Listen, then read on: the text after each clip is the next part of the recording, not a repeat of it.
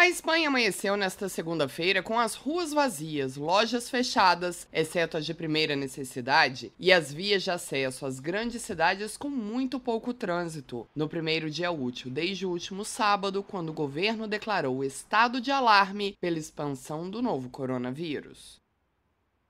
Nas últimas 24 horas, a Espanha experimentou um grande aumento do número de casos declarados, chegando a quase 8 mil. O número de mortes devido à pandemia subiu para 288, a maioria na região metropolitana de Madrid.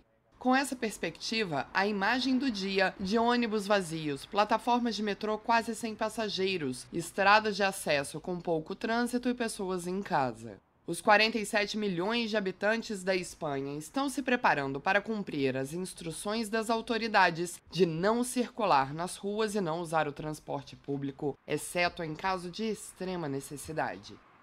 Para garantir a segurança e o cumprimento das ordens, a Polícia Nacional e Municipal, a Guarda Civil e o Exército estão destacados em todo o país.